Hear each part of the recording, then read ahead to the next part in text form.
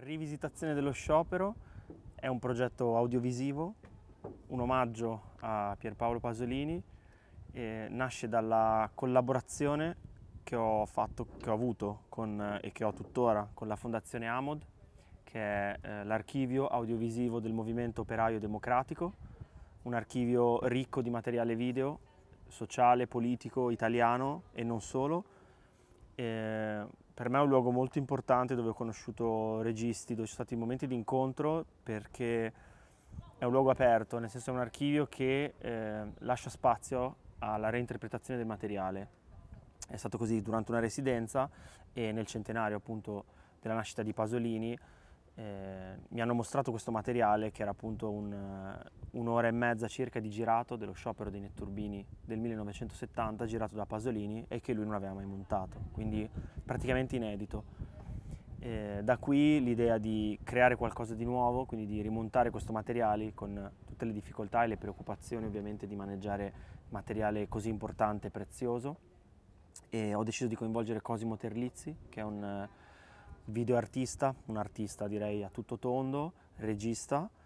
eh, col quale ho già collaborato e che mh, ha già fatto dei lavori, delle performance su Pasolini, quindi comunque è un,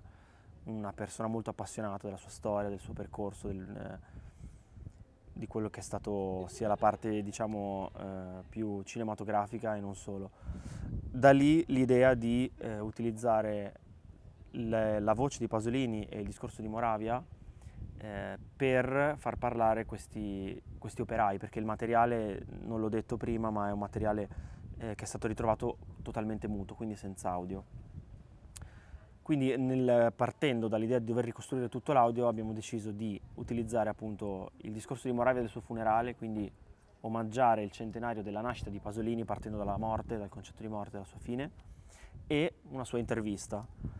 quindi si vedono questi operai che vengono doppiati dalla voce di Pasolini in modo anche un po' distopico, se vogliamo a volte, strano comunque perché si vede che non è eh, la voce attaccata precisamente, non è doppiato precisamente, ma appunto l'idea è creare questo straniamento, quindi eh, la classe operaia che Pasolini in qualche modo voleva assolutamente rappresentare, eh, che parla attraverso lui. Poi Conclusa questa parte, diciamo che è la parte più importante, l'impianto eh, concettuale, abbiamo lavorato sull'idea di proporlo live perché c'era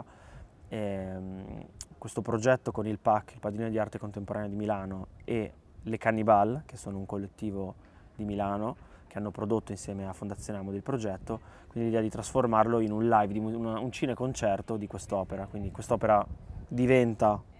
materiale audiovisivo per un live e anche allo stesso tempo diciamo, materiale da poter eh, proiettare e visionare anche al di fuori di un live. Per me la relazione fra suono e immagine è alla base di tutto il mio processo creativo. Negli ultimi anni ho proprio capito che eh,